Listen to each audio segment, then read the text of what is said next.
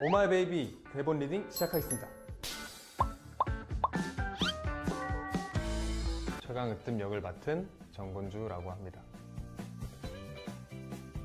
아이돌 출신이시죠? 나 어디서 본 것 같아. 아, 아니요. 그 아버지 어머니 성을 한 자씩 따서 최강입니다.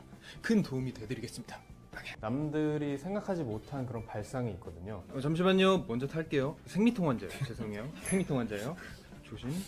정말 맑고 순수한 매력을 가지고 있는 아이입니다. 우리 모 걱정은 하지 마세요. 제가 이모라고 부른 이유는 이모, 이모. 방송을 통해서 보시길 바랍니다.